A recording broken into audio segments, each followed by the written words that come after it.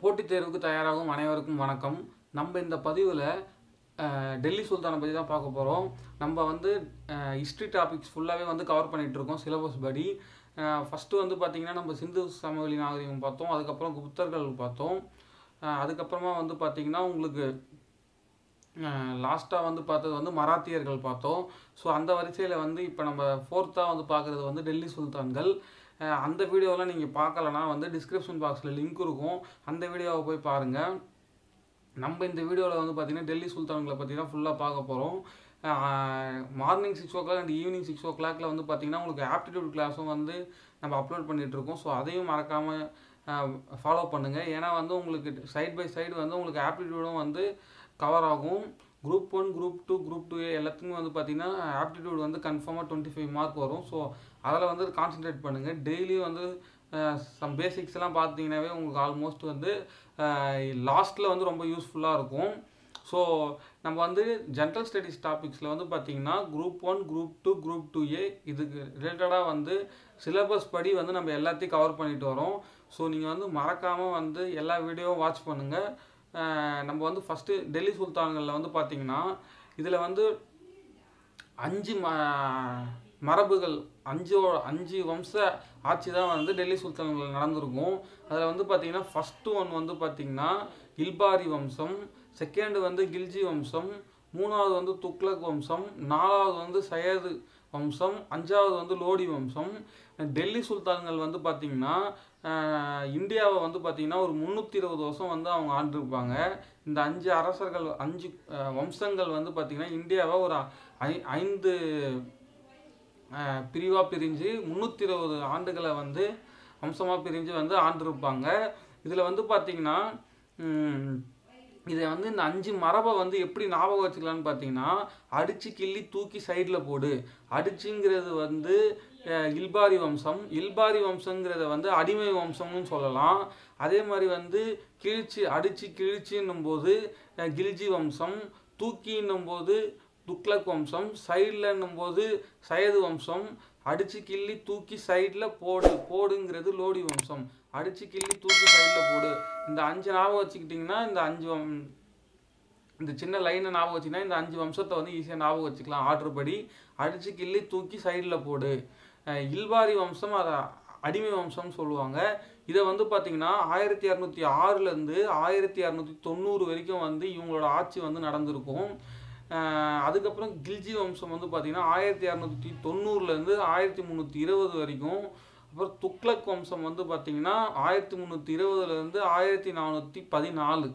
அதுக்கப்புறம் சையது வம்சம் வந்து ஆயிரத்தி நானூற்றி பதினாலுலேருந்து ஆயிரத்தி நானூற்றி ஐம்பத்தொன்று வரைக்கும். அதுக்கப்புறம் லோடி வம்சம் வந்து பார்த்திங்கன்னா ஆயிரத்தி நானூற்றி ஐம்பத்தி ஒன்றுலேருந்து ஆயிரத்தி ஐநூற்றி இருபத்தி ஆறு வரைக்கும். அதுக்கப்புறமா வந்து லாஸ்ட்டாக வந்து லோடி வம்சத்தில் இப்ராஹிம் லோடி தான் வந்து கடைசி ஆள். ஸோ அவருக்கு கூட இந்த டெல்லி சுல்தான் ஆட்சி வந்து முடிவு பெற்று பின்பு வந்து உங்களுக்கு வந்து முகலாயர் ஆட்சி வந்து தொடங்கும்.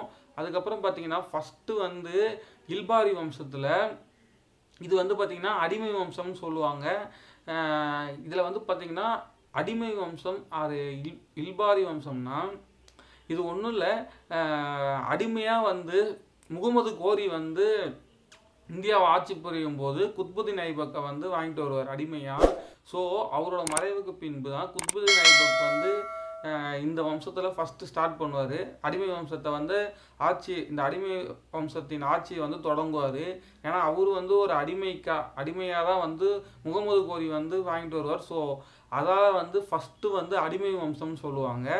இவர் தான் வந்து ஃபஸ்ட்டு ஃபஸ்ட்டு குத்பினார் டெல்லியில் இருக்க குத்பினாரை வந்து முதல் முதல்ல அடிக்கால் நாட்டியிருப்பார். பட் இவர் வந்து க முடிச்சு கட்டி முடிச்சிருக்க மாட்டார். ஸோ வந்து இவர் அடிக்கால் யார் கட்ட ஸ்டார்ட் பண்ணாருன்றது போது குத்பதீன் ஐபக் அதுக்கப்புறமா வந்து பார்த்திங்கன்னா இவரோட தாராள குணங்கள் இவர் வந்து நிறைய சேவை மனப்பான் நிறைய வந்து லட்சங்களை அள்ளி அள்ளி கொடுப்பாரு மக்களுக்கு சேவை செய்கிறதுல ஸோ இவரை வந்து பார்த்திங்கன்னா லாக் பக்ஷான்னு வந்து இவர் சொல்லுவாங்க. லட்சங்களை வழங்குவோம்னு சொல்லுவாங்க. அதுக்கப்புறம் பார்த்திங்கன்னா இவர் வந்து பார்த்திங்கன்னா துருக்கியர்களின் போலோ விளையாட்டு அதாவது குதிரையில் போகிற ஒரு விளையாட்டு வந்து விளையாட போகும்போது இந்தியாவில் வந்து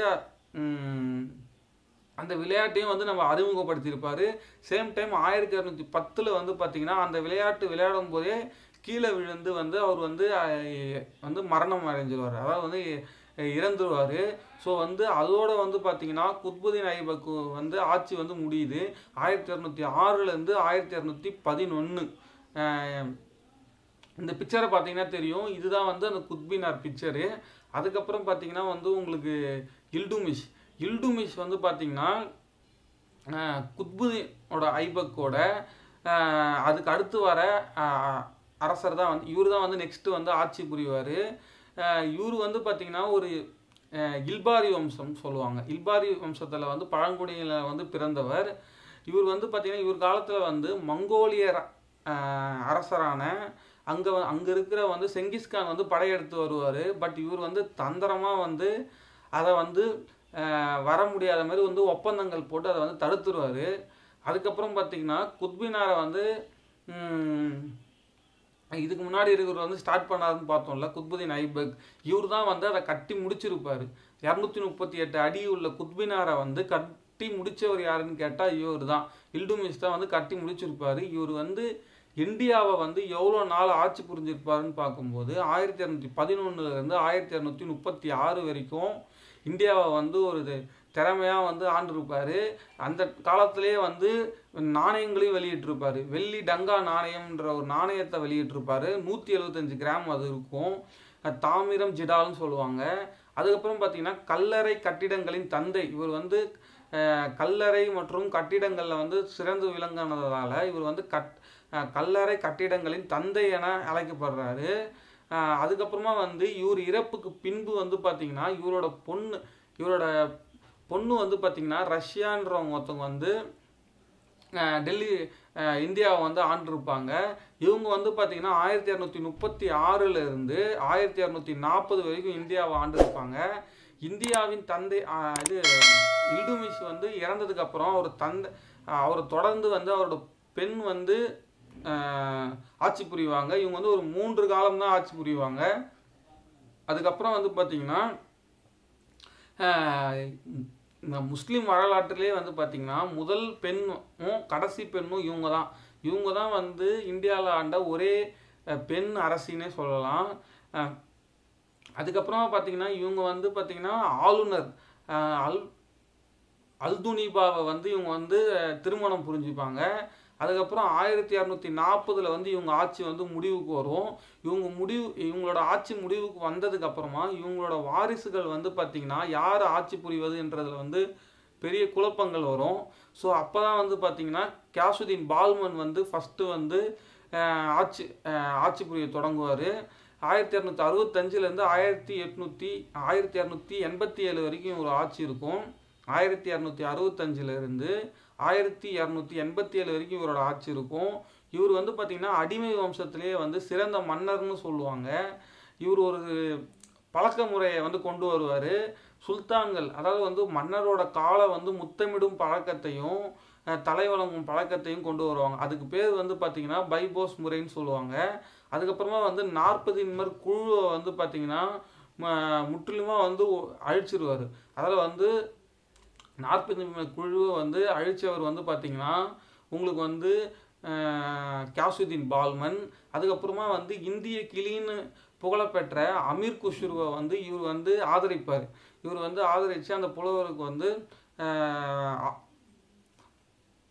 அந்த இவர் காலத்தில் ஆதரித்த புலவர் வந்து பார்த்திங்கன்னா அமீர் குஷ்ரு. இவர் இவரோட கொள்கை வந்து பார்த்திங்கன்னா இரும்பு ரத்த கொள்கை. இவர் பின்பற்றிய கொள்கையெல்லாம் வந்து பார்த்திங்கன்னா இரும்பு ரத்த கொள்கை. இவர் வந்து பார்த்திங்கன்னா ஆயிரத்தி எட்நூத்தி ஆயிரத்தி இரநூத்தி எண்பத்தி ஏழில் வந்து மரணம் அடைஞ்சிருவார். அதுக்கப்புறமா வந்து அதோட வந்து அடிமை வம்சம் வந்து முடிஞ்சிட்டு நெக்ஸ்ட்டு கில்ஜி வம்சம் ஸ்டார்ட் ஆகும். ஃபஸ்ட்டு வந்து பார்த்தீங்கன்னா ஜலாலுதீன் பெரோஸ் கில்ஜி தான் வந்து ஆயிரத்தி இரநூத்தி தொண்ணூறுலேருந்து ஆயிரத்தி இரநூத்தி தொண்ணூற்றி ஆறு வரைக்கும் இவங்க ஒரு ஆண்டு இருப்பார். ஒரு ஆறு ஆண்டுகள் வந்து ஆண்டு இருப்பார். அதுக்கப்புறம் பார்த்தீங்கன்னா இந்தியாவில் வந்து நிறைய இந்து மதம் பின்பற்றுறவங்க வந்து இருக்காங்க.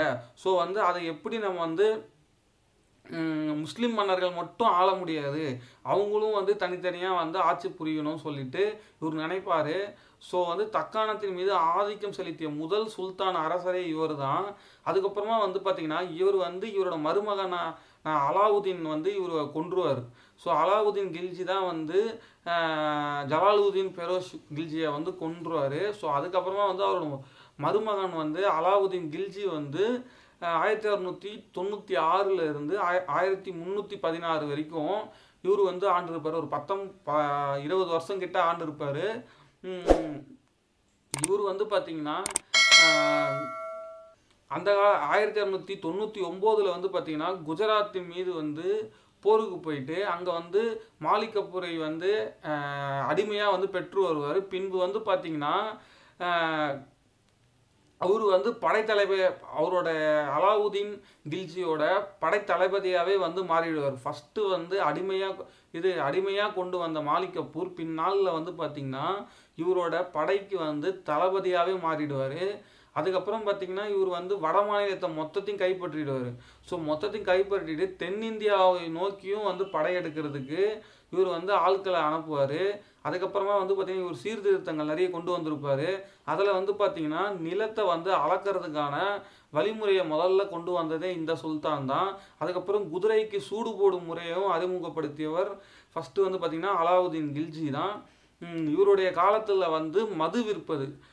இப்போ மது விலக்குலாம் போடுறாங்களே அதை வந்து அப்பயே வந்து ஆயிரத்தி இரநூத்தி தொண்ணூறு தொண்ணூற்றி ஆறு ஆயிரத்தி முந்நூறு ரேஞ்சிலே வந்து மது விற்கிறதுக்கு வந்து தடை விதிச்சிருப்பார். அ- அலாவுதீன் கில்ஜி. அதுக்கப்புறமா வந்து பார்த்தீங்கன்னா கியாசுதீன் துக்லக் இது வந்து பார்த்தீங்கன்னா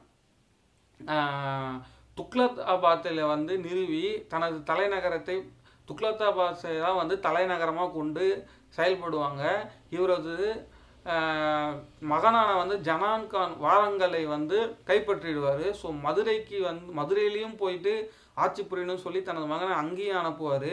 பட் ஆயிரத்தி முந்நூற்றி இருபத்தஞ்சில் வந்து இவரோட மகன் இவரது மரணத்துக்கு அப்புறமா வந்து இவரோட மகன் வந்து ஆட்சி புரிய தொடங்குவார். அதுக்கப்புறமா வந்து பார்த்திங்கன்னா முகமது பின் துக்லக் முகமது பின் துக்லக் வந்து பார்த்திங்கன்னா ஆயிரத்தி இரநூத்தி ஆயிரத்தி முந்நூற்றி இருபத்தஞ்சிலிருந்து ஆயிரத்தி முந்நூற்றி ஐம்பத்தொன்று வரைக்கும் இவரோட ஆட்சி இருக்கும். முகமது பின் துக்ளக் முகமது பின் துக்ளக் ஆயிரத்தி முந்நூற்றி இருபத்தஞ்சிலிருந்து ஆயிரத்தி முந்நூற்றி ஐம்பத்தொன்று வரைக்கும் இவரோட அப்பாவோட மரணத்துக்கு அப்புறமா வந்து பார்த்திங்கன்னா இவர் தான் வந்து ஆட்சி புரிவார். இவரோட உயிர் இவரோட இயற்பெயர் வந்து பார்த்திங்கன்னா ஜனான் கான் தான். பட் இவர் வந்து முகமது பின் துக்ளக்னு பேரை வச்சுக்கிட்டு அரியணை ஏறுவார் ஆயிரத்தி முந்நூற்றி இருபத்தி ஏழில் டெல் தலைநகரை வந்து டெல்லியிலிருந்து தேவகிரிக்கு மாற்றிடுவார் பட் இதால் வந்து பெரிய ப்ராப்ளம்லாம் நடக்கும். திருப்பி வந்து தேவகிரியிலேருந்து டெல்லிக்கே கொண்டு போயிடுவார். இவர் வந்து பார்த்திங்கன்னா திருப்பி வந்து ஆயிரத்தி முந்நூற்றி முப்பதில் தலைநகரை மீண்டும் டெல்லிக்கே கொண்டு போயிடுவார். முகமது பின் துக்ளக் வந்து பார்த்திங்கன்னா ஆயிரத்தி முந்நூற்றி ஐம்பத்தி ஒன்றில் வந்து இறந்துருவார் முகமது பின் துக்ளக். அதை தொடர்ந்து வந்து ஃபெரோஷா துக்ளக் வருவார். இவர் ஆயிரத்தி முந்நூற்றி ஐம்பத்தி ஒன்றில் இருந்து ஆயிரத்தி முந்நூற்றி எண்பத்தி எட்டு வரைக்கும் ஆட்சி புரிவார் இவர் வந்து பார்த்தீங்கன்னா குத்பினாரா வந்து ஆல்ரெடி வந்து குத்புதீன் ஐபக் வந்து அடிக்கால் நாட்டியிருப்பார். அவர் வந்து ஸ்டார்ட் பண்ணியிருப்பார். இல்டுமிஷ் வந்து முடிச்சிருப்பாருன்னு பார்த்தோம். இவர் வந்து பார்த்தீங்கன்னா மேலும் வந்து அதை வந்து உயரமாக்கியிருப்பார். எழுபத்தோரு மீட்டர் எழுபத்தொன்று புள்ளி இருபத்தி நாலு மீட்டர் வந்து ஒரு உயரமாக்கியிருப்பார். அதுக்கப்புறம் பார்த்தீங்கன்னா இ- இக்தாரின்ற ஒரு முறையை கொண்டு வந்து பொதுப்பணித்துறையில் வேலை செய்கிறவங்களுக்குலாம் வந்து பணமாக தராமல் நிலமாக தர முறையை வந்து கொண்டு வந்திருப்பாரு. அதுக்கப்புறம் இவரோட காலத்தில் வந்து பார்த்தீங்கன்னா பொதுப்பணித்துறைகளை உருவாக்கி யமுனை மற்றும் சட்லஜி வந்து கால்வாய் நோண்டுறதுக்காக இவரோட காலத்தில் தான் வந்து அதெல்லாம் சீர் பண்ணி காவாய்கள் வந்து வெட்டப்பட்டிருக்கும். அதுக்கப்புறம் பார்த்தீங்கன்னா இதோட வந்து துக்ளக் வம்சம் முடிவு அடைஞ்சிரும். அதுக்கப்புறம் தைமூர் வ- படையெடுப்பு வந்துடும் ஸோ வந்து தைமூர் வந்து ஒரு தலை சிறந்த அரசர். இவர் வந்து ஆயிரத்தி முந்நூற்றி தொண்ணூற்றி எட்டில் வந்து இந்தியாவை வந்து அடைஞ்சிருப்பார். அப்போது பார்த்தீங்கன்னா நஸ்ருதீன் முகமது வந்து துக்லத் நஸ்ருதீன் முகமதுன்றவர் தான் வந்து துக்ளக் ஆட்சியை வந்து நடத்திட்டு இருப்பார். அந்த டைமில் வந்து துக்ளக் அரசை வந்து ஒரு பெரிய தாக்குதலே நடத்தி துக்ளக் வம்சத்தை அழிய லாஸ்ட் எண்டுக்கு கொண்டு வந்துடுவார் அழி அழிக்கப்பட்டதே வந்து பார்த்திங்கன்னா தைமூர் படையெடுப்பால் வந்து ஃபுல்லாகவே வந்து துக்ளக் வம்சம் வந்து ஃபுல்லாக வந்து காலி ஆகிடும் அதோட வந்து பார்த்திங்கன்னா சையது வம்சம் ஸ்டார்ட் ஆகும். ஆயிரத்தி நானூற்றி பதினாலுலேருந்து ஆயிரத்தி நானூற்றி ஐம்பத்தி ஒன்று வரைக்கும் பார்த்தீங்கன்னா சையது வம்சம் தான் நடக்கும். இந்த வம்சத்தில் தான் வந்து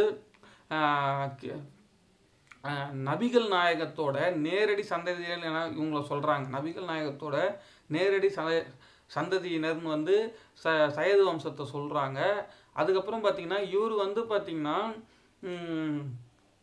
திருப்பி வந்து தைமூர் வந்து திரும்பி பின்னர் தன்னை மன்னராகவே அறிவித்து அறிவிச்சுப்பார்.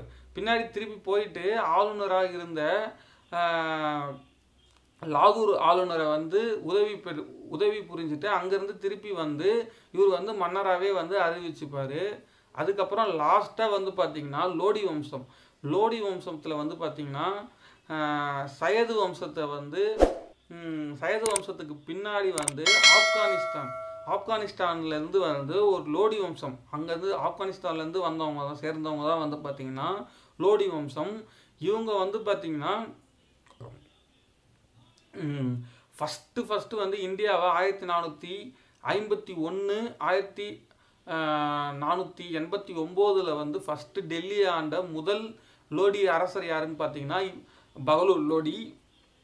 பகலூர் லோடி வந்து ஃபஸ்ட்டு ஆட்சி புரிஞ்சாலும் செகண்ட் வந்து பார்த்தீங்கன்னா சிக்கந்தர் லோடி வருவார் அவருக்கு தொடர்ந்து மொத்தம் ஒரு மூணு லோடி வம்ச தலைமுறைகள் வந்து ஆண்டிருக்கும். அதில் ஆயிரத்தி ஐநூற்றி ஆறில் வந்து பார்த்திங்கன்னா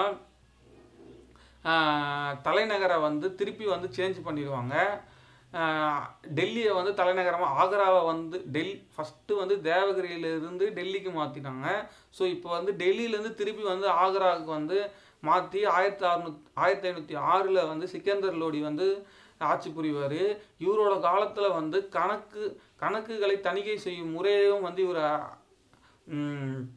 அறிமுகப்படுத்தியிருப்பார். இவரை தொடர்ந்து வந்து இவர் வந்து ஒரு பாரசீக கவிதை கவி கவிதைகளை வந்து ஆஹ், குல்ருஹி மற்றும் சிக்கந்தா ஷா என்ற வ- புனைப்பெயரோடு வந்து எழுதிட்டு எழுதினார். இவர் வந்து எழுதுவார். கவிதையெல்லாம் என்னது எழுதுவார்.